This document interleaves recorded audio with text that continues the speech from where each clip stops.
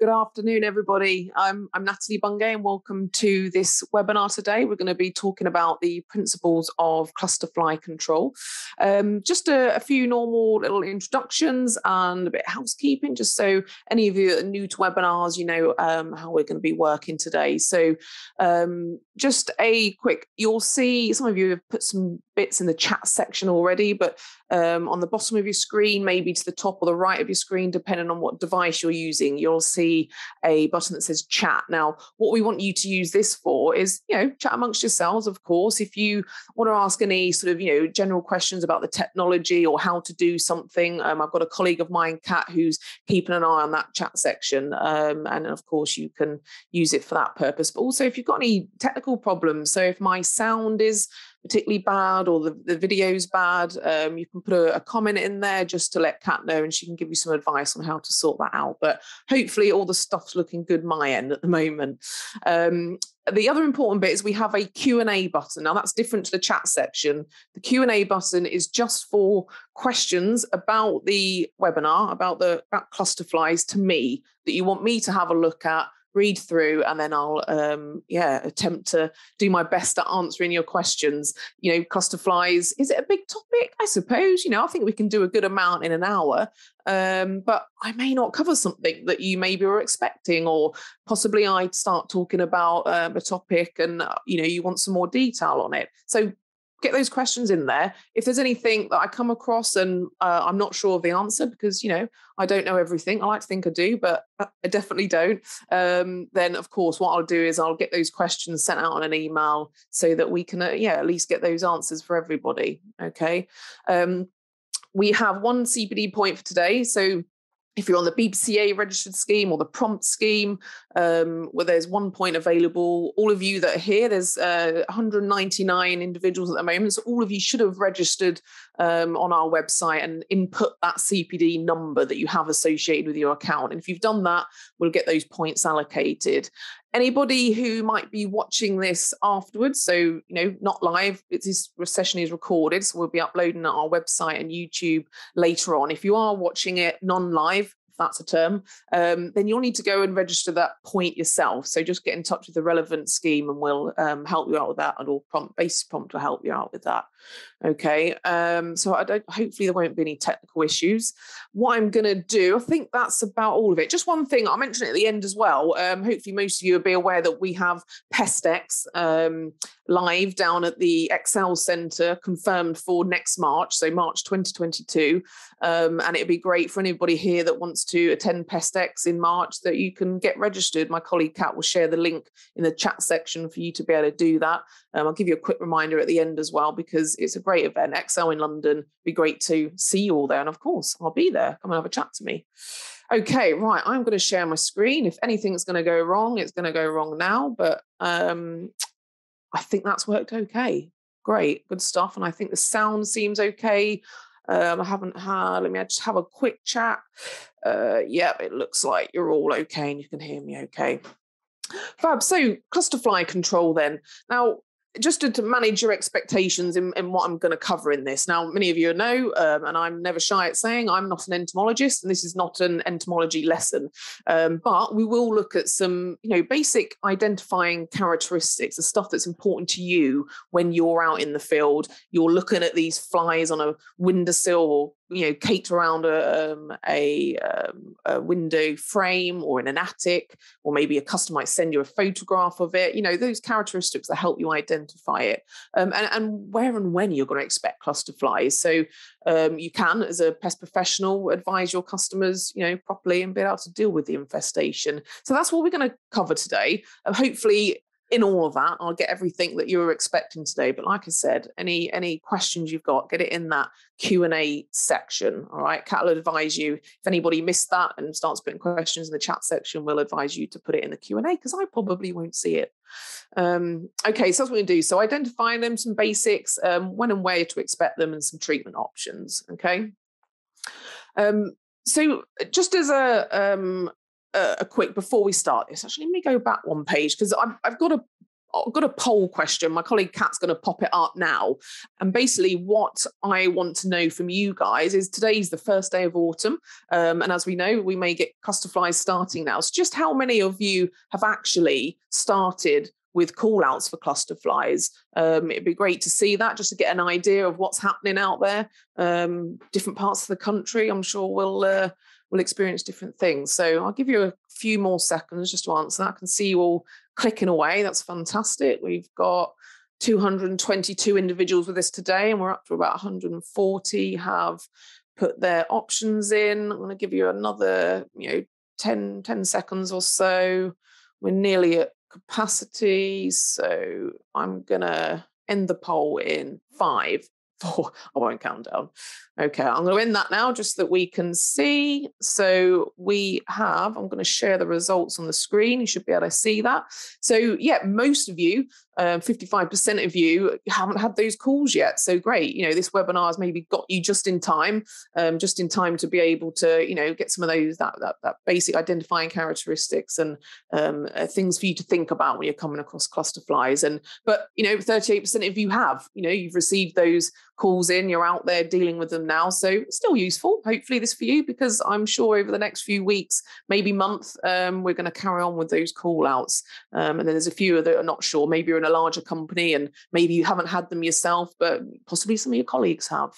Okay, great. I'll stop sharing that. It's good to know that. So we've got a we've got a relatively um, even split in terms of yes and no's there.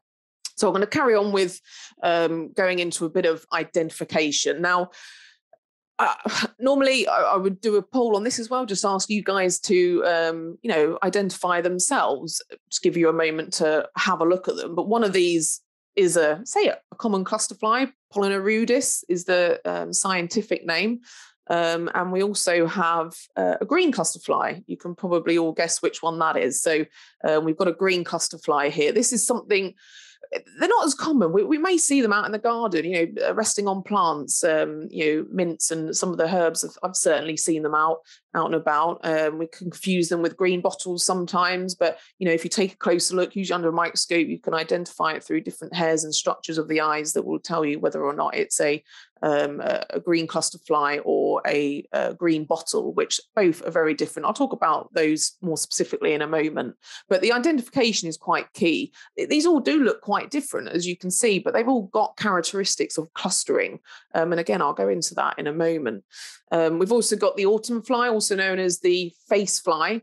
Um, now, this is this image here is um, the male. As you can see, it's got um, a white uh, sorry, a, a, yellow coloration on its abdomen there, and it's more black on its on its thorax. But if we have a look at the female, it's quite a lot different, isn't it? And I've actually seen some of these face flies um, in my home. You know, I've found a couple of them dead, some of them alive. You know, got my electric fly swatter out and and killed them, and and had a good look. And I'm seeing these appearing um, in my home. They're not in massive numbers at the moment, um, but I am seeing them. Um, you know, sometimes you might look at them and think, is that a cluster fly? Is that a common house fly? You know, you're kind of thinking about yourself. But it's this patterns that you've got here. You've also you've got it on both ends, the thorax and the abdomen. You've got this grey coloration um, uh, that, that's quite clear and it's quite interesting to see. So maybe some of you have seen this.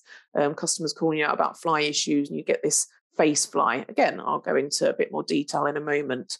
And then here we have the more common species that most of us are going to be dealing with, um, the cluster fly, Pollenia rudis. Um, we're going to see this, and it's got quite, um, you know, identifying characteristics to it. So you've got the golden hairs and sort of specks there on the on the top of its thorax, and its abdomen is more of a quite see it in this image here, but a, a patterned grey colour, a bit similar to the face fly here um, back on its uh, abdomen there. So good to identify these. We're going to be seeing a lot of flies this time of year. As we know, the weather's getting a bit cooler now. So the cold weather is always going to bring dead insects, isn't it? Or lazy insects, um, uh, sluggish insects. So good to good to have an idea of these. Of course, you're going to find lots of different different fly species, but these are the ones that are mostly associated with clustering. We have another one, yellow swarming fly. I'll uh, go into that again in a moment. So just have a look at the face fly and the green cluster fly. This is this is going to be real sort of um, fly by your seat stuff. Again, if you've got any extra questions, please ask them. And like I said, if uh, um, if I'm not sure the answer, I'll come back to you later on in emails. But the face fly, it looks very similar to um, house fly and also a cluster fly in many ways to a degree. Um, clearly defined by its striped grey and yellow abdomen, um, and that's the male. The image we looked at in the moment, and you'll see here this this image of a horse these are the female um, face flies that you get feeding from the secretions from um, usually livestock, cows and horses, secretions, I can say that word, uh, from their eyes and nose um, and mouth also they feed from that. And it's always usually the females. Female face flies need a lot more protein than the males. Um, so things like um, obviously females use some secretions, but also as we know, livestock do get bitten by horseflies, and I don't know if anybody here has been bitten by a horsefly uh, before, but it's quite painful, and it, it's quite a um, uh, quite quite a bite. You know, it leaves quite an, a, a, big indentation, and you can get blood that seeps from that as well. So these uh, face flies can sometimes feed from that blood that's resulted from a uh, horse fly bite, for example. As I said, it's usually always the females. They need this higher protein content. Um, the, the eggs of the face fly are laid in animal dung normally. The larvae feed on the dung and then pupate in the soil.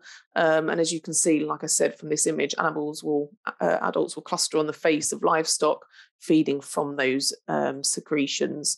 Um, you know, in terms of uh, face fly, you know, most are likely to in- invade farm homes and homes located near pastures or um, where cattle are kept, of course, makes sense, doesn't it? If we're they're breeding these areas, we're normally going to get them associated with those buildings that are a little bit more possible rural and associated with um, livestock. Um, I've actually seen, as I said, a couple of um, these in my conservatory, the female face fly recently. Um, so, you know, it's just important not to confuse them with the common cluster fly. We don't generally get as many problems in the homes uh, that we see. But again, if you're working out in the countryside, maybe you will will see both species there because all of these cluster flies, they can actually cluster together very, very often. You'll see, um, you know, cross species clustering together and it's not always just the one. Um, in terms of the uh, green cluster fly, it's another species where the larvae develop on, on fecal matter. It's lovely, isn't it? Um, and you know the larvae are usually on the dung and pupate in the soil. Um, and like I said, adults can and will cluster in mixed swarms sometimes. If you see that and you've got a property that's particularly bad with cluster flies and you notice a, a few different looking species amongst there, it's, it's probably, you know, um, the, the, common cluster, cluster fly, face fly, maybe the green cluster fly. Um, so with um, going forward on to just a little bit more information about the yellow swarming fly that I mentioned earlier. Um, it's a small fly, about the size of a fruit fly, maybe about three millimeters. Um, it, it's fairly large, rounded wings um, in relation to the quite smallish yellow body. It's quite an attractive looking fly, actually. I know there's some people that they would call this one of their favorite pest species in terms of um, visual satisfaction because you know they're quite colourful, aren't they? And quite attractive to look at and quite distinctive. I think if you were going to come across the yellow swarming flies, you wouldn't have too much of a problem identifying them. Um, very distinctive. Um, and, and the characteristics here is that, you know, they belong to um, a family of grass flies. Um, the larvae usually living the roots of grasses. They are the, the, larvae are carnivorous, mainly preying on root aphids. So um, you can get them clustering in roof spaces, commonly old churches. That's just from case studies that have been seen out there before. Um, you know, I've seen examples um, of this fly originating from, uh, say, guttering that's got quite a lot of foliage growing out of it. You know, sometimes if those gutters are not maintained enough, you can get a lot of um, soil and then resulting foliage growing out of it. And and yeah, I've certainly seen um, these uh, yellow swarming flies taken advantage of that. Um, so they're not as common, um, but they are in large numbers when they're present. So yeah, as I said, quite an anomaly, but some of you may have come across that yellow swarming fly. So a bit of an identification there. Um, hopefully that that's helped out a little bit. But just to go into a bit more detail with our more common cluster fly that we we come across. Sorry, I've spelled Pollenia rudis wrong there. Um, meant to be an O. Um, uh, spelling mistake. Should have done this before, really, shouldn't I? I'll blame someone else. Um, but yeah, it's Pollenia rudis. Um, they're a complete metamorphosis. So uh, most of you here, are, you know, different levels of experience. I think there'll be here some really, really um, long-term, long-standing technicians that are well aware of, you know, metamorphosis, complete and incomplete, but also maybe some new technicians that would like me to go into that a little bit more, which I will because it's important. So with uh, all flies, um, but talking about cluster flies, the complete metamorphosis is from it, it, consists of four elements. So we have an egg, we have a larvae, we have a pupae, and we have an adult. That's called a complete metamorphosis. An incomplete metamorphosis is three stages. So you'll have the egg, which will then hatch out into um, a lar- uh, sorry, a nymph, which is basically a smaller version of the adult, um, and then that will um, molt through different stages, varying stages into the adult insect. But for cluster flies, we have a complete metamorphosis. So the egg is laid, um, and that hatches out into a larvae, which then pupates, and then the adult emerges. Um, so this is the cluster fly is a, free living field insect. Um, the life cycle is really dependent on weather conditions. Um, just so you can see here, they've got those golden hairs on the thorax. Um, what this cluster fly does, so the female will lay their eggs in dead and rotting leaves and vegetation, vegetation. So pretty much anywhere there is foliage or trees or shrubs. And you know, you may get city areas, suburban areas where it's a maybe people call it a concrete jungle. You probably won't get as many issues with cluster flies. I won't say you'll never get any issues with cluster flies because, of course, they can fly some distance to find their overwintering spot, but generally or normally it's going to be in the more um, rural or or um, sub-rural areas where you've got a lot more foliage and trees and shrubs. So what happens is that leg is that egg is laid amongst these rotting leaves. That egg would usually take hatch in about one week. So the larvae will hatch out. It will seek out an earthworm. So this is really this is really important information for anybody that's new to cluster flies or the biology of cluster flies and how they work because you know the, the control matters. So when that larvae hatches out amongst that foliage, it will burrow down into the soil. It will seek out an earthworm, and this is what it parasites. So that larvae will burrow itself into that earthworm to feed within it. It's pretty nasty, isn't it? it sounds quite alien like.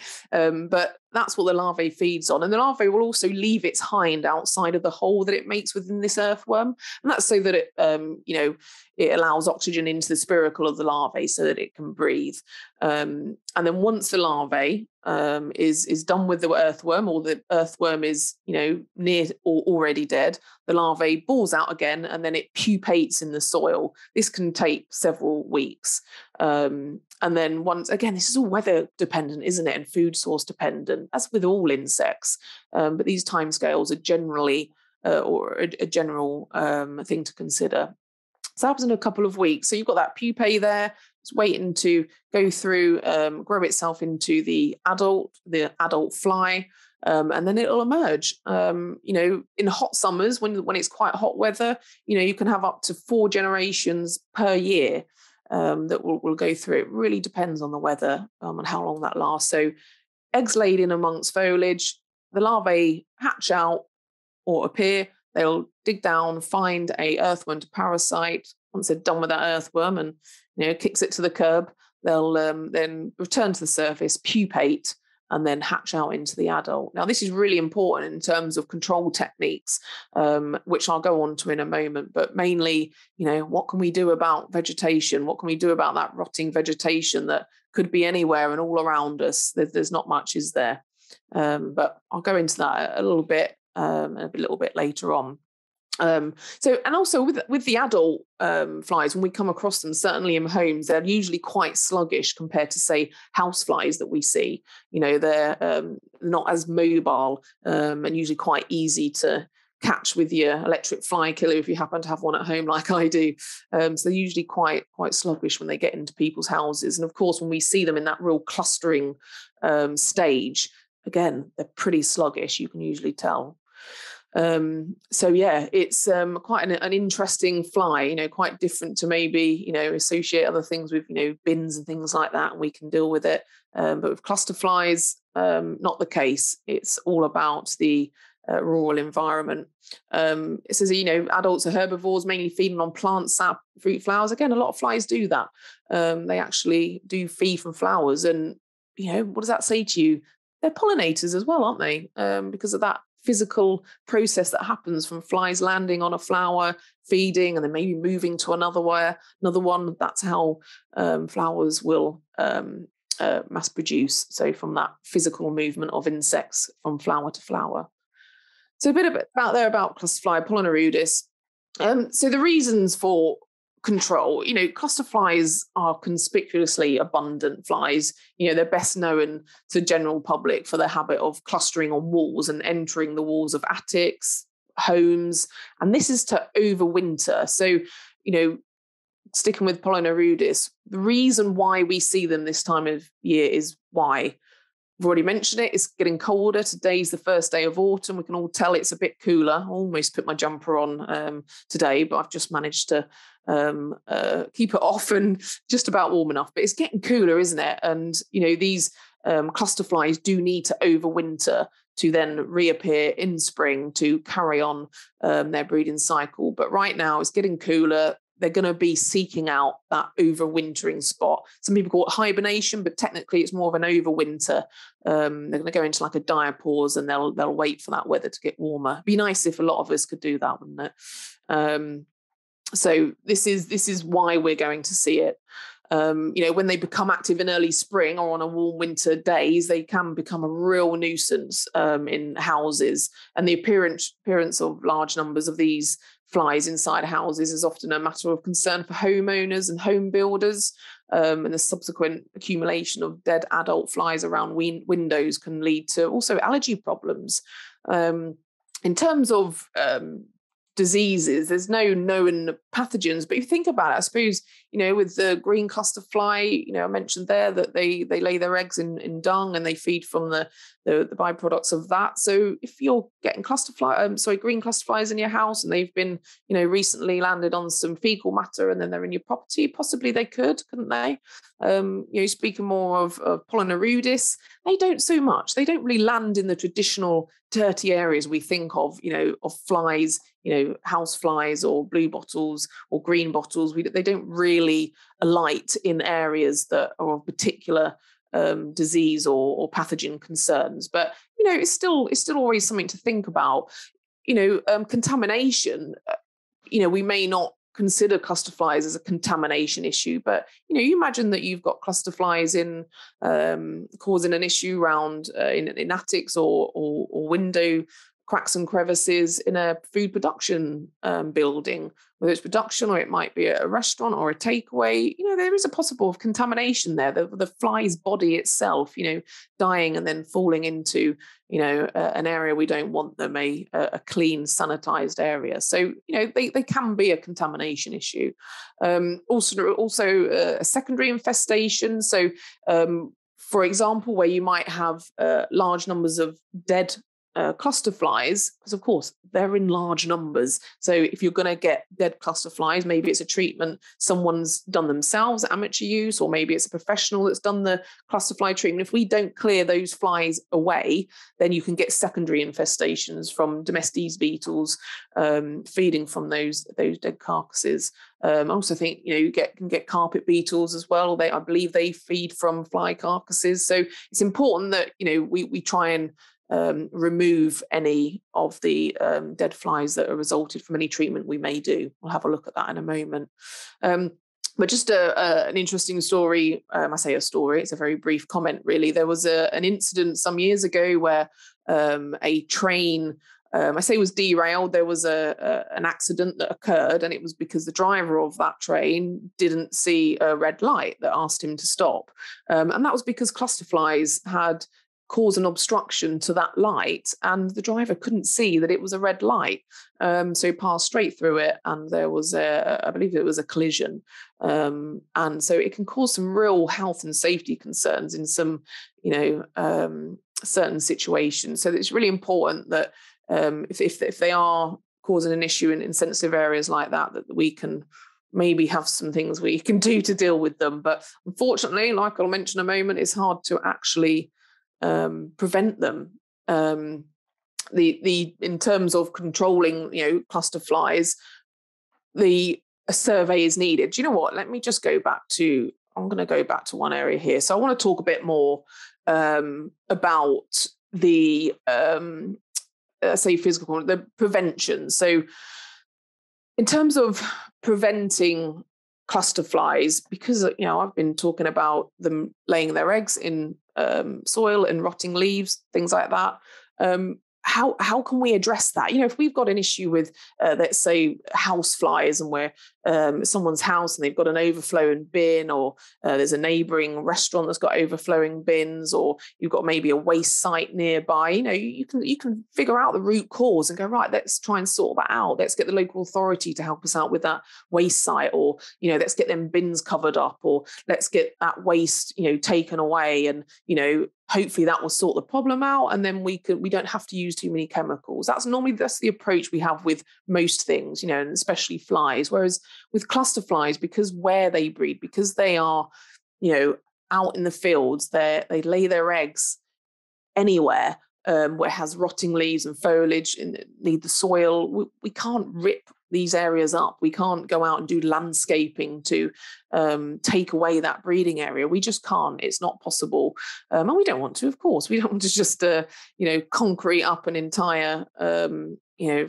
three four square mile area it's just not possible so you know when we when you're talking to your customers and they ask you for prevention um, uh, advice it's very difficult to be able to um, say to customers, sorry, but you know, there isn't much you can do to prevent this. Maybe a few things, I'll go into it in a moment, but we can't directly address that um, harbourage area, which we normally do with most other pest species. Okay, I will touch on that again in a moment. And let's just go forward into controlling cluster flies then. So we've had a look at how they breed, um, how to identify them. Again, you know, relatively straightforward stuff, um, but controlling them, maybe not as straightforward. So, the first thing we always need to do is um, a site survey. A survey doesn't necessarily need to be you know war and peace or a novel that you're writing or a long document but you do need to always do two things so a safety survey and a survey on activity levels. This is what's going to give you your um, uh, your uh, control approach, the, the thing that you need to do for that site specific problem. Um, you know, why not note it on your treatment reports? This is why I always consider, encourage people to do. It doesn't matter what you're doing, you know, wasps or rats or cluster flies.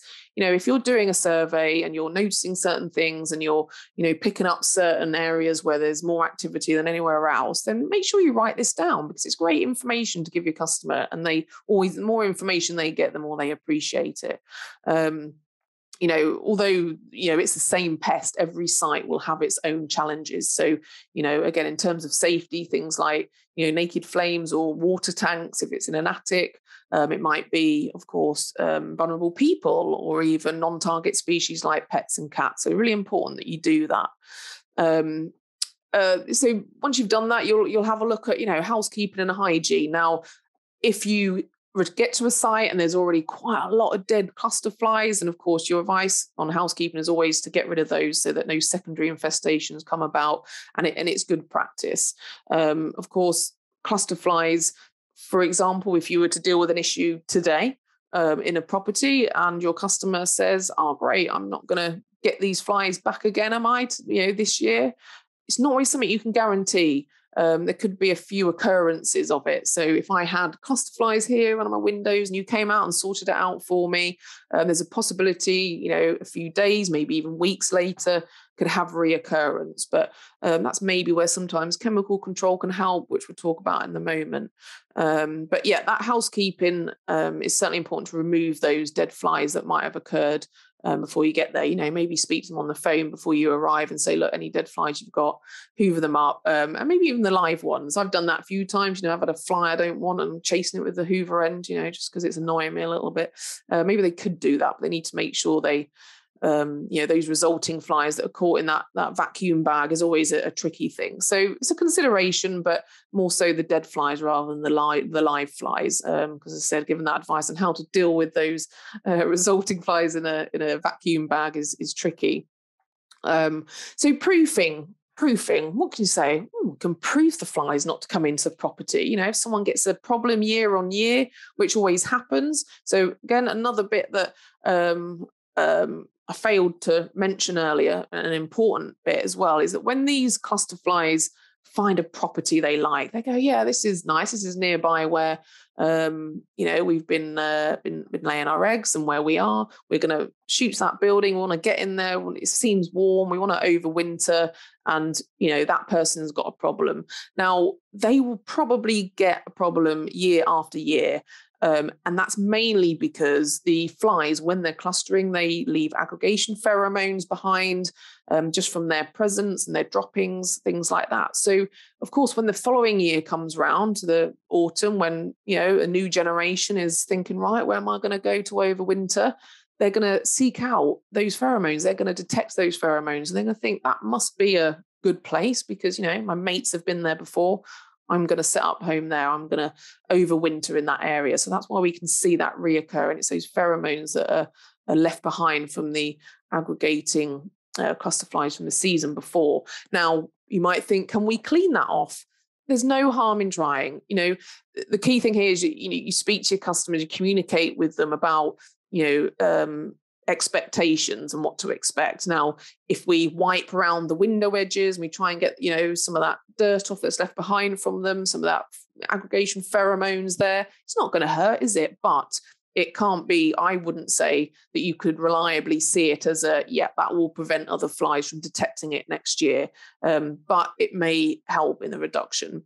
If those cluster flies are more common in the attic, which we get, so cluster flies will sometimes you get them around windows in lower areas of the property and sometimes you'll get up into an attic and they're absolutely you know i say swarming clustering um, in large large numbers and sometimes both as well. Now if you've got them in a in an attic space you can't really go wipe, wiping down your roof tiles where they might have come in or um, the soffits and things like that. It, it's difficult, but if you, you know if you've got an area that's maybe localized and it seems to be around a couple of certain uh, windows that open and you see those flies falling out from um, cracks and crevices, then you know it doesn't hurt to give it um, a clean and a wipe down. Um, it can only help, uh, not necessarily prevent completely. Um, so that wiping down and the proofing. Now, uh, you know, uh, there is an example. I think with sash windows, for example, the way they're constructed with the um, the cords that go down the outside of the frame of the um, sash window. Sometimes the flies can get access there, and they can like it. And I think you can put mesh around these areas just to stop them getting in that that void there. But still, is it gonna is it gonna stop them getting access? Possibly to a degree, but not completely. Um, you know, flies are small, aren't they? They don't need a large gap to squeeze through. You know, they could you could probably struggle to see most holes that a fly could get through. So, you know, proofing can be tricky, but you know, consider things like fly screens. Maybe it would help. Um, something to think about site specific, like I said, a survey. But proofing and hygiene can help, but won't necessarily stop a problem occurring year after year. Um, so after we consider these things, we've done a survey, we maybe advise on a bit cleaning they can do. If there is any proofing, great. Um, and the next thing we may want to consider is uh, electrical fly killers. Now you'll notice here, I'm I'm doing all the non toxic stuff first. That's the hierarchy of controls that we should all follow all of the time with all pest work that we do. Always look at the, you know, managing the environment if we can, you know, cleaning and housekeeping and proofing. So, really important. Um, and then, you know, non toxic pest control as well. So, um, electrical fly killers. Now, really is site specific. I can't say to you, this EFK is wonderful for this type of site.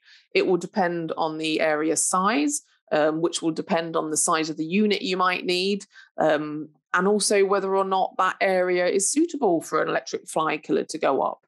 Um, for example, sometimes if it's in an attic, you can put an electrical fly killer up there um, but you need to do your safety checks. You need to make sure there's no risk, there's no risk of fire, um, and certainly things like bats, which I'll talk about in a moment.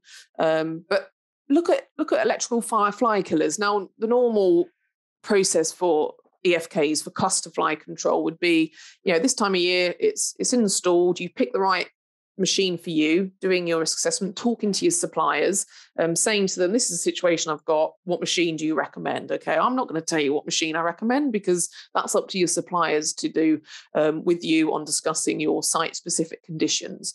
Um, but there's different sizes. You've got glue boards, you've got kill grids, and things like that. And it will depend on the number of cluster flies that you have. So, you know, if you if you picture a traditional electrical fly killer that you get in, you know, restaurants and bars, um, you know, it's quite a small catch tray you know, we can get thousands of cluster flies in in one space in at one time. So if you put a traditional EFK up on the wall that's got a small catch tray, you know, not only you're not going to have enough space for there, but that's a real fire hazard as well because you know those dead carcasses are building up and building up, and you've got an electrical fly grid there that could cause some fire issues. Um, so normally with electrical fly killers that are in roof spaces or are there specifically for cluster flies, um, that tray will be removed. Now, most of you will know who are familiar with electrical fly killers. Normally, when you remove that catch tray, it will automatically shut off the um, uh, EFK. So um, there are certain uh, products that you can get that are considerate of that again speak to your suppliers you know i haven't used these machines uh, for a fair bit of time. There's lots of new ones that come out on fancy designs. So you know have a chat to them. They'll, they'll, be able to tell you which one's best for you. But the important thing is is that you've got that space underneath the efk when all these flies are going to get caught on this kill grid and they're falling down that you've got a way to catch them. Now we need to be careful with putting things like bags under EFKs, it's not a problem to do it to catch them, you know, big large bags hanging from it. But, you know, if we're using plastics or we're using, you know, um, uh, paper sort of bags, things like that, again, you've got to think about the risks. You know, is there any fire risk or anything like that? Sometimes you could put a big, massive bin underneath, you know, might do it where they, they all get caught in there. Um, there's a few different ways, but electrical fire killers can be really good. A non toxic control method, usually turn it on at a certain time of year um, and then, you know, once that cluster fly season um, has has reduced, there's no, I would say, generally by uh, mid to late November, you'll see a close to cluster flies. It could be a lot earlier. Um, it, it, can vary. It really depends on the weather, like I said, and the area that you're in. You may have an area that's particularly bad with them and they go on for some time. Um, but generally, you know, you turn them on for a couple of months, and then once we get to a time of the year where you're confident, yep, they've stopped now, no more you can turn that device off and then um, it's no longer in use saves everybody um, you know that electric electric cost and uh, bulb um, cost as well. I think the bulbs you do still need to change every year but that's a whole efk talk. I'm not here to talk about efks too much um, but they're, they're, they're a handy tool. You know if you do have customers that have reoccurring issues um, in large spaces then EFKs can be a really great tool because then when you come around to spring, when um, these overwintering adults have, you know, had a nice little sleep and they think, oh, it's warming up a little bit. And they come out from those overwintering spots. Exactly the same problem is going to happen that's happening maybe now or over the next couple of weeks. But rather than the flies trying to get in the building, those flies are trying to get out of the building to go and do their thing, you know, lay their eggs in that um, rotting uh, leaves and, and vegetation and feeding on the flowers and pollinating and doing all the lovely things that they do. Um, so yeah, in spring it starts warming up. They're going to be exiting. So again, be a time of year that you'll get that EFK on just to control those numbers if it's causing concern to your customers. Um, but yeah, lots of different devices. Speak to your supplier. Now, chemical control. So um, we, you know, it is an option. Of course, it is your decision to survey your site. And if you think, you know what, the you know, recommendations I've given them and that EFK I've placed, I think that'll do a job. You know, I'll come back. I'll, you know, you could even get a contract for EFK to come back at certain times of each year to maintain it um, to check it, you know, to clear up those flies, those resulting dead flies that you get. Um, really up to you what you want to do with that. It can be ongoing work, which is is always good. But chemical control, there is a place for it. Um, you know, in the hierarchy of things, we always want it to be the last thing you consider. But if say you know it is something you need to knock those flies down quickly if the placement and the arrangement for an efk is just not um, going to going to cut the mustard uh, for this particular call out that you've got and you need that control now, then chemical control can be the way to go. So, um, you know, we've got things like space. Uh, space um, like ULVs, ultra low volume particles that are released through a ULV machine. Um, these all knock down the adults only. So, like I said, we, we can't control the larvae. We can't get to that area where the larvae are breeding um, to, to stop that breeding cycle. We can't do it. Um, same with the pupae. Um, and the same with the egg. We can't clear it up. We can't clean it up or, or spray it or do anything with it. It's only the adult that we can really focus our attention on. So that EFK placement, that's dealing with the adult, isn't it? And the same with the chemical control. So doing space treatments with ULV, ultra low volume uh, particles, for anybody who doesn't know that, it, it's kind of cross between a, a traditional spray and a, and a fog it's in between there the past particles. It kind of they hang around in space for a bit longer and then they fall slowly. So any flying insects those adults that are flying in that space will come into contact with it and then and then drop to the floor and, and die. So it's that you know quick control. It's that knockdown of those adults that are possibly causing a you know a huge nuisance maybe contamination. Um, you know i've had a couple of fluster fly fluster cluster fly um, issues in in schools, for example, where you know there's a classroom and there's a you know a whole classroom of kids due in the next day, and of course they can't sit in a classroom with you know thousands of flies uh, buzzing around, it's it's going to cause a bit of chaos, isn't it? Um, if if if nothing else, which obviously we don't want, want in a learning environment. So I've had that before. Um, I think those situations used a, an ultra low volume. You know, you have to mark out the area. You have to um, you know look at your your space your volume because on those product labels it'll tell you um, how long you need that ultra low volume machine turned on for to be able to cover that space. But it's absolutely it's a good option. If it's safe to do so and you've done your risk assessment and you think yeah that's the way to go um, speak to your suppliers about the different um, products that you can get. Um, but yeah ulv machines good for space treatments and knocking those flying adults down um, and then also, so crack and crevice with additional spray and liquid concentrates.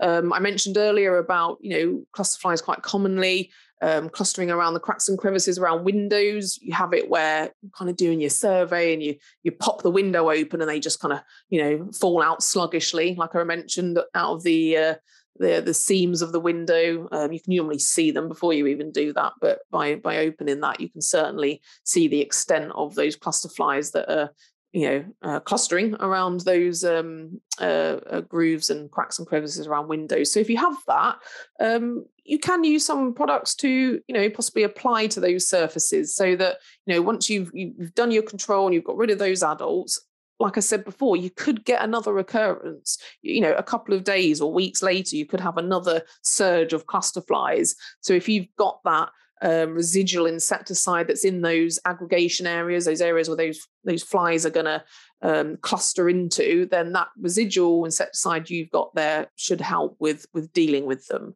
So again, speak to suppliers, look at labels, make sure you can use it for what you can use it for. Make sure the surface um, is correct for the insecticide, so porous surfaces, where it might be um, a smooth surface, is different. You, you've got to look at your product formulation again speak to your suppliers about it. So yeah space treatments you can do some surface treatments to get that residual effect to, to deal with any any um, further problems coming a um, coming along.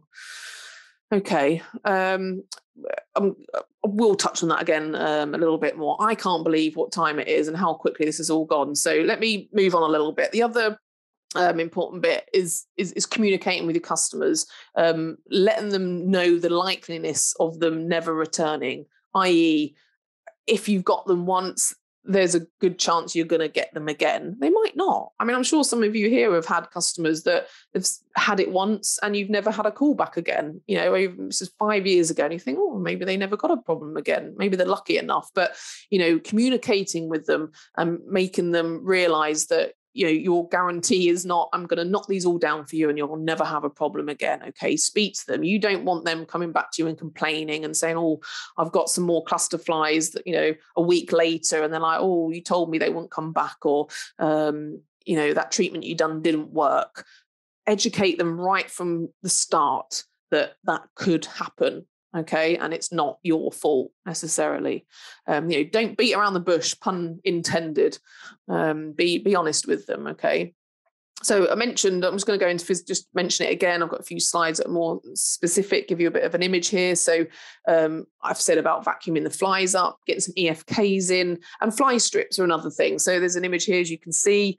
Um, you know, if you've got a customer that's, you know, it's maybe not a a really, really bad problem. It's just, you know, pretty annoying and they don't want any EFKing, so it's not suitable. And they don't really want any chemical control because they've got all sorts of animals there and they're worried about it. Then you can get things like fly strips, which, you know, um, usually in a, in a, in a small package, you kind of open it up and pull them out and it's a big long dangly strip of loveliness that the flies like and they attach themselves to it.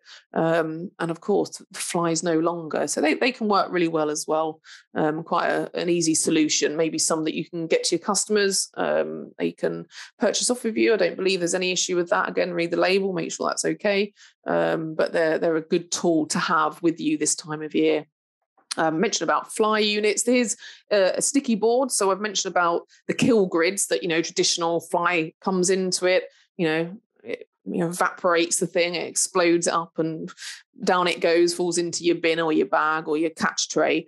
Um, whereas glue boards, it may be more appropriate that you have a glue board system they will need to be checked more often if you've got quite a substantial cluster fly problem because you know of course it's one glue board. Once that's full of flies you ain't really going to get much else sticking on there. So a bit more labor intensive but again an option if you feel that is more suitable for you. Um, chemical control again i'm just uh, reiterating everything that I've, I've gone over already but um, you know you need to obviously measure up the area um, this this image here is is I know it's, it's a waste site. We, could get cluster flies on a waste site, I guess, you know. Um, uh, but it's just to demonstrate that this is a fogger um, and another possible option. Not the most common option for cluster flies, um, but possibly it might be something you want to consider. But not the most likely. Um, usually things like smokes, so smoke generators, uh, different brands out there. Something you can you can light the wick. I think there are safer smoke generators now that don't have that uh, need for that naked flame or that spark. Because of course, if we're in attics and there's a risk of fire, or you know we can't have sparks in the area, then there are sparkless. I think they're called again. Speak to supplier. Um, but yeah, smoke generators are quite good for space treatments um, and aerosols. You have these. Um, I think they call them total release release aerosols um, where you kind of you know push the button get out you know obviously have your mask on leave the room and it fills that room with the aerosol knocks those adults down like i said there's a common theme here isn't there you know there's different products we could use but the general concept is the same is that there's adult flies in the room i need to knock them down and it's choosing the best thing for you best option for your site and your customer. Um, and again, like I mentioned, the ULV, the ultra low volume particles that we have released into the space. Um, you know, we need to do our health and safety checks. So, um, really, really important. Of course, you know, there could be electrics in the loft space. Um, we've got to assess moving around as well, because, you know, you, get up into loft space, that's fine. There's a nice ladder here, as you can see in the image. It's safe to get up. But, you know, if you've got you can see here, I think that's a Christmas tree, um, possibly a fire risk. Um, also, you know, you could have some wildlife up there. You've got to make sure that, you know, you check for these things. I'll talk about that in a bit more in a moment. Um, but also the boarding. So make sure if, if you're if you're needing to go up into an attic to survey it or put an EFK unit up or do a treatment, you know, you've got to make sure you can move around properly. And, you know, if there's any low roofs as well or ceilings that, you know you're wearing the right ppe things like you know hard hats um, but if you if it's if it feels unsafe to move around or a bit tricky or there's a risk of you tripping then you know you've got to re reassess your situation maybe get some crawl boards or speak to your customer about making it safer up there but think about your movement okay? Um, and again, like I've said with EFK units, um, you know, if you've got naked flames or any any risk of um, uh, you know, any risk of having sparks, things like that in the area. You need to think about all these things and all the equipment that you're using. Okay, but a lot of the time we we, we need to go up into a loft to survey or, or carry out our treatment. You just need to be aware of the of the hazards and not just health and safety hazards, but also you know a non-target inspection. Really, really important for cluster flies when we're doing space treatments or we want to do a space treatment or we want to put an electrical fly killer up because that matters as well when it comes to bats. You know, the the Wildlife and Countryside Act 1981, um, Schedule Five. Um, you know, it protects bats. We cannot do anything to bats, and it's just it's not just we can't harm them, but we can't disturb them. If there is any known bat activity in a reef space, and you've got flies up there that you want to deal with, you're going to need to get the advice from the Bat Conservation Trust. Um, you know, because electric fly killer that could disturb them, that could, um, you know, bring them out of their um, of their nesting areas. It could, as said, disturb them or create some sort of disturbance. It's really something you need to be aware of and do your visual inspections. Ask your customer, have you ever had bats here? Do you know if there are any bats here? They say yes or no. Regardless of what they say, you then go and do your own inspection. So you'll look for bat droppings um, up in the attic. You can do the crumble test, which, um, for those you don't know, mouse droppings and bat droppings can look pretty similar, um, almost identical. But the big difference is that bats feed from insects, so therefore their droppings are a lot more crumbly. So we do the crumble test, which is you, you rub it between your fingers, and if it crumbles, it's bats. Whereas mice, their food um, is a lot more uh, there's their dropping sorry is a lot more combined and uh, usually when it dries up it just goes particularly hard and it's very hard for you to be able to actually crumble that dropping. So the crumble test don't taste them whatever you do just the crumble test. Um, so but if there's any any worries about bats whatsoever you don't do anything you advise your customer to speak to that conservation trust and then if you need something doing with these flies, they'll come out and assess it for you and give you the best advice they can. Okay. And always give us a call if you need to talk about it a bit more. Um, so, yeah, I'm going to do my little magic thing. So, customer communications, I'm going to ask you what the magic phrase is. I'm imagining you all like shouting it out to me. Know, I know Natalie, I know what a magic phrase is. And that is manage customer expectations. Yay. Because that is part of your the challenges you have. You know, talking to the customer. I've already mentioned it. Tell them about cluster flies, how they breed, um, why you can't guarantee that this one space treatment or whatever it is you're doing is going to sort your problem out forever. Because if you don't manage their expectations, they're possibly going to complain, aren't they? Or expect you to come back. And if you don't come back and you're a member of the BPCA, they might ring us and you know have a have a pop at us about you, and then we're in touch with you, and then nobody's happy. So manage your expectations about how cluster flies work um, you know, is year after year, it could be a problem. Um, if you're treating, you can't guarantee there won't be another recurrence. So really important stuff. That's a, that's a sudden stop, and I'm realizing it's 13:21. I cannot believe I've been talking for like 51 minutes. It's it's madness. Everyone at BPCA tells me I talk far too much, but uh, yes, I've been having fun. Okay, I um, am got 10 questions from you all. Um, I'm gonna have a little look. Right, drum roll, everybody. Let's see if we can do this. So, Andrew Midgley, when I spray for cluster flies on the outside of a building, should I check for bats entering under the eaves, or will the dry pesticide be safe as it is for humans? So, yeah, Andrew. I mean, in terms of um, treating buildings on the external fascia of the building, the external walls of the building, it's not really something we always advise um, to be done because mainly you know weather conditions and things like that can affect it a lot. Um, other species of in, of insects that we don't necessarily want to come in contact with that could be a, be a risk if it's on the outside of a building. Um, i would say if you're getting cluster flies and they're on the outside of the building but they're also on the inside then we should be focusing on those inside areas. Um, i mean you also need to have a check i don't know what products you're using so you know i can't give too much direct advice on that but a lot of a lot of uh, uh, spray pesticides may say, you know, for internal use only. So just have a look at that. Um, and that's my advice, really. Um, you know, you say about bats entering under the eaves. Um, I mean, if it, it's your decision on whether you think what you're doing could um, disturb or interfere with the bats. And if you have any worries about that being the case, then you need to consider it. I see your question come in just as we started. So hopefully the stuff I've talked about in terms of the bats has answered that. But just have a look at your products and make sure you're happy with the way that you're that you're using it. Okay, Ian Watson. So um, yes, Ian, that was a test. Um, so Ian said here, I think one of my slides, I did mention it actually before I came on the webinar to uh, a colleague of mine, that one of the images um, on the back, should we go back on there? No, I'm not going to share my screen again because, you know, I'll just see if you all remembered it. But there, there was a background and it was flying insects in the background. They were ants. Um, I did mention that about 10 minutes before we started the webinar, and I thought, you know what, I'll bring it up and uh, address it when we're there. I didn't, obviously, um, but you're right, Ian. Right, that that was that was uh, well.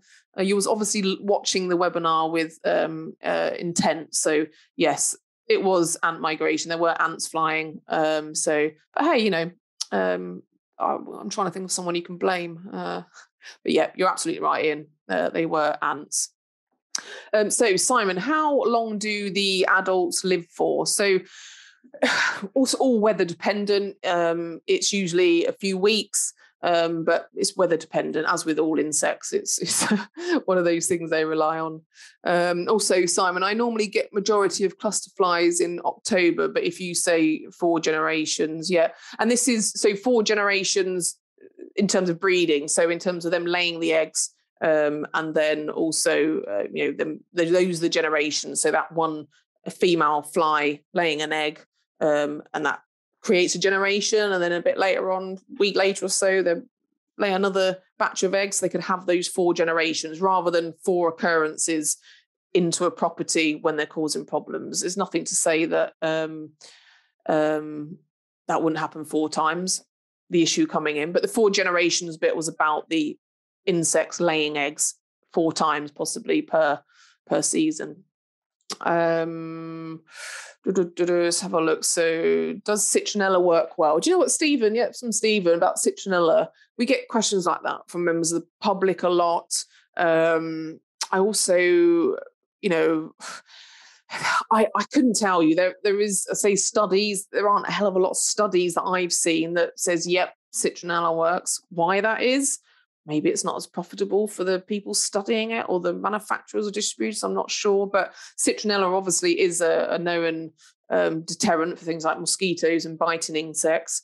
Um, I haven't known about it so much for cluster flies um, but yeah, maybe something to you know um, look into and, and and see. But I haven't seen anything. I've just had someone pop up here saying no, citronella doesn't work for cluster flies. So yeah, I, I wouldn't imagine it's normally those biting insects, you know, the mosquitoes and midges that we traditionally see citronella for. But um, I haven't heard that it's it's good for cluster flies.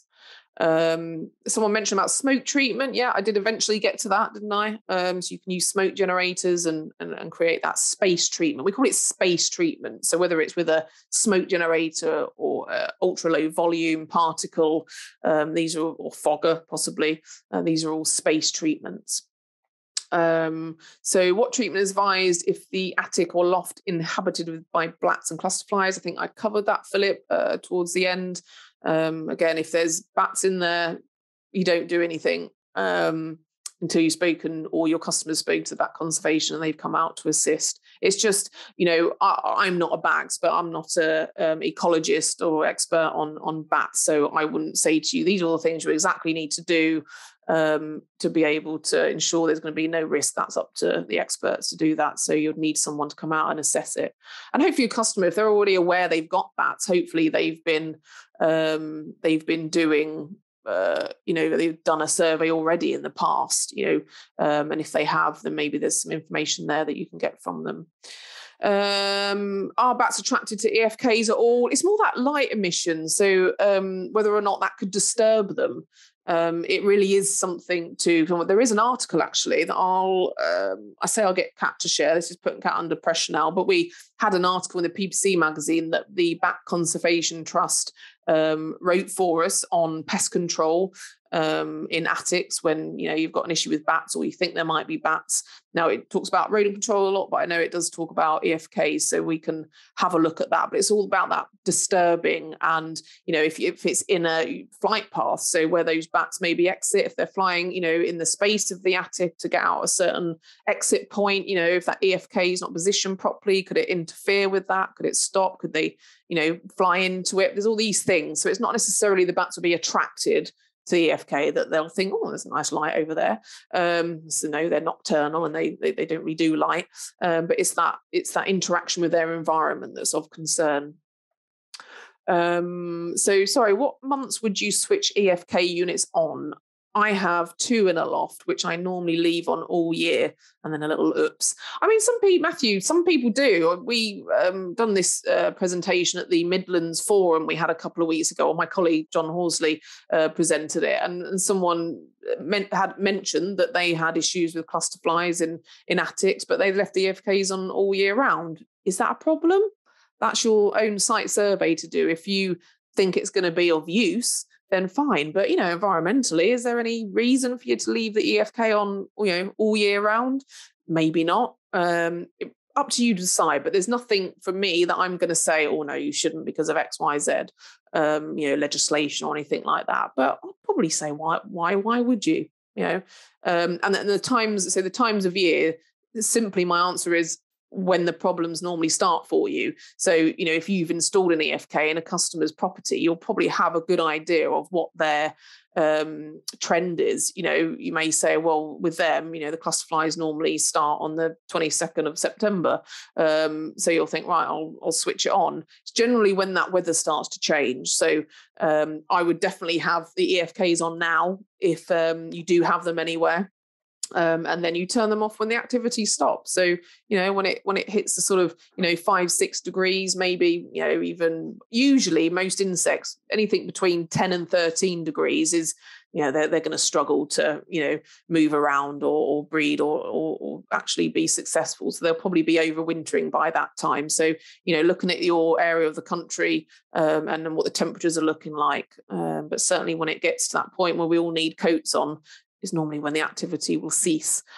Okay, but each site will vary. Um, now we're officially at 1.30, so we're officially meant to stop now, but I'm not gonna because you know it's the way I roll. Uh, we have 11 questions still to go. I'm not going to be able to do all of them unless, of course, I get to you know i'm going to give an extra 10 minutes here. So you know there's 250 of you still with me. If any of you need to shoot off i completely understand. I won't be offended. I won't uh, get in touch with you and uh, you know cry or anything. But if you can stay for another 10 minutes i'm sure it'd be helpful for for every one of these questions that we've had on here.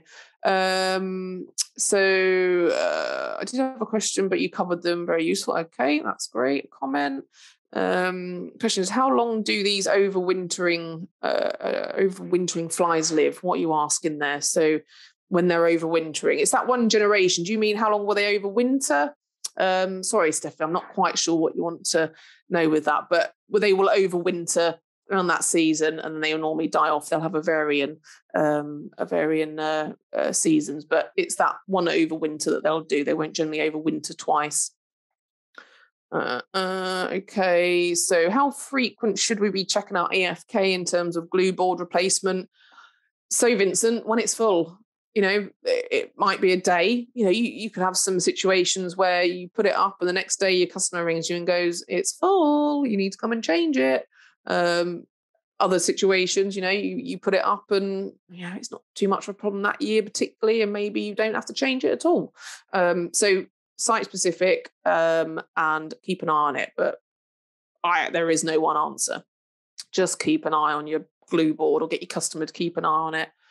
Uh, do we have so uh, Fipan? This is do we have cluster flies in Southeast East Asia um, looks like houseflies in a glance for me. I don't know. I, do you know what I think? Southeast Asia. That's somewhere I need to BPCA need to send me to go and look into it a bit more for you and uh, see whether you have cluster flies. I'm only kidding. I, I don't know. So um, I, I would I say I'd imagine so. It's not something I've ever really thought about before. Um, you know, I'll be looking at it when we're gone, but that's not going to be useful to any of you guys now.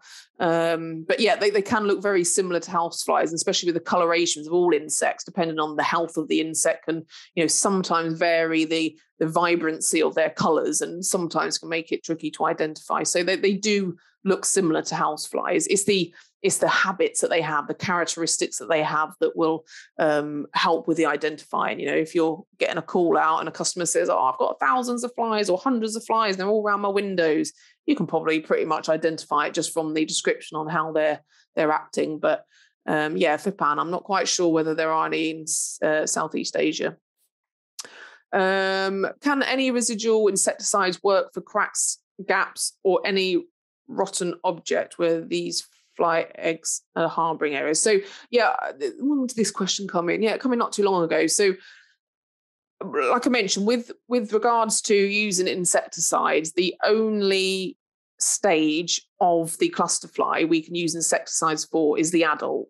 The eggs, everything else, you know, even though eggs and pupae struggle with, you know, insecticides anyway because of the penetration, but forgetting that, you can't you can't access where the eggs are being laid or where the harborage areas are in terms of you know the eggs and the and the uh, larvae and the pupae. It's out there you know it's out in the fields it's out in the rural areas it's in underneath trees or underneath bushes and shrubs. It, there is nowhere there is nothing we can do about those larvae uh, and um, the pupae. It's going to be adults only. So, in terms of what insecticides you can use, I can always say there's so many out there. You know, you've got to speak to supplier, have a look at your labels, see what it says about, you know, the formulation, whether it's suitable for that surface that you want to use it on, and whether it's, um, you know, suitable for the species you want to use it on. The label will tell you all you need to know about what you can use that insecticide for. Um, Okay. Uh, any experience with diatomaceous earth for treating cracks and crevices? Um, no. So, I mean, there, you know, it's a powder normally, but you can get it in spray formulations. I, I don't, I'm trying to think why you wouldn't use it. Um, you know, the, the, main thing about diatomaceous earth is that you get that insect moving across it so that it attaches to, it absorbs that waxy layer and then um, kills that insect from loss of uh, moisture, loss of loss of liquid or water, whichever way you want to see it. Um, so as long as it can get connection with them, and I don't see why not. Um, and I always advise looking at the the the um, uh, least toxic option. So that that's legislation as well as professional service. You know, if you're thinking, right, I need an insecticide or I need some sort of, you know, chemical control, then look at the things that are um, um, least toxics. And diatomaceous earth, of course, is more of a, a natural product, a organic product. So um, having a look at the label, if it says that species on it, um, and it says, yeah, this is what you need to do with it, put it there and wipe it there, spray it there. It tells you everything you need to know. You know, um, it doesn't matter what I say you can do with something. The important stuff's on the label. It will tell you what you can do with it there. So yeah, have a look at your labels that got silica dust or um, you know it's got a, a the, the powder within the the, the wettable formulation. Uh yeah thanks for that. So uh, any experience we've got that one? I'm trying to get rid of this. I'm just conscious of time. I'll do one more. So uh, this is anonymous. What's the best way to clear up after a treatment? I.e in a loft space you can't really vacuum. Um, also is it down to the pest control technician as once they're treat once they've treated, they become hazardous waste? Oh, yeah, good question. So, um, eh, site specific. So, you know, any if you're putting, for example, an EFK into an attic, normally you can have some sort of catch tray, bucket, bin, whatever below it, and that will hopefully catch everything you need. Um, it's up to you. Take it away. There's no definition. There's so in terms of it being hazardous waste, there's no definition in the hazardous waste regulations or the European waste codes is how waste is is allocated. So if you've got some rodenticide and you're like, I want to throw that in the bin, um, I'm going to give it to someone to take away, you always give that the same code 200119 it's a hazardous code. It's described in the european waste codes. It's clear. That's what it is.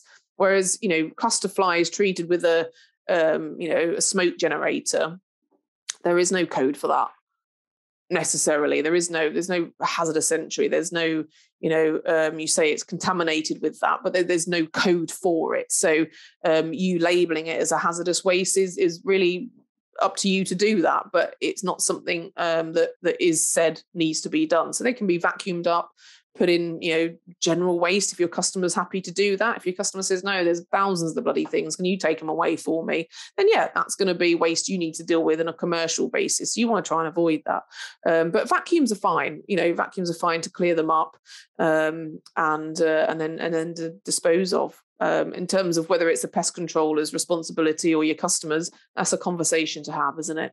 Um, but managing their expectations in terms of there's going to be a lot of dead flies.